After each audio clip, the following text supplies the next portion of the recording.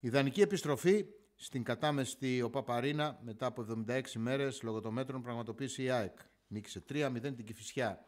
Ένα αποτέλεσμα που ανέβασε την Ένωση στους 52 βαθμούς έστω και στην κορυφή της βαθμολογίας ε, αφού ιτήθηκε ο ΠΑΟΚ και είναι στο συν 1 και από τον Παναθηναϊκό. Αξιοποίησε λοιπόν τις γκέλες του ΠΑΟΚ και του Παναθηναϊκού. Με τα δύο γκολ που πέτυχε εναντίον της Κυφυσιάς, ο Λιβέας Γκαρσία έφτασε τα 11 τη φετινή σεζόν. Κάπως έτσι, ο διεθνής επιθετικός του Τρίντα τον Πάγκο έφτασε σε διψήφιο αριθμό τερμάτων στο πρωτάθλημα για δεύτερη διαδοχική χρονιά με τα 14 γκολ που είχε πετύχει την περσινή χρονιά.